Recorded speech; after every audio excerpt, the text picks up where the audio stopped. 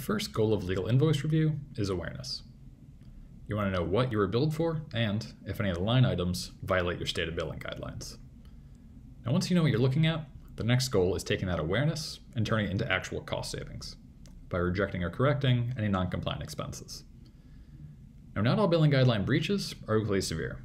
There's plenty of reasons why you might not want to debate every single dollar with every single vendor. So, if you do prefer to pick and choose your battles, where's the best place to start? Well, looking back at the full year for 2019, the one billing guideline breach that was converted into the most actual cost savings for Brightflag customers was budget overruns. Seems a little obvious, right? And, okay, maybe it is. But it's still worth asking. How consistently are you setting budgets in the first place? And the next time a phase or a matter goes over, how and when will you actually know?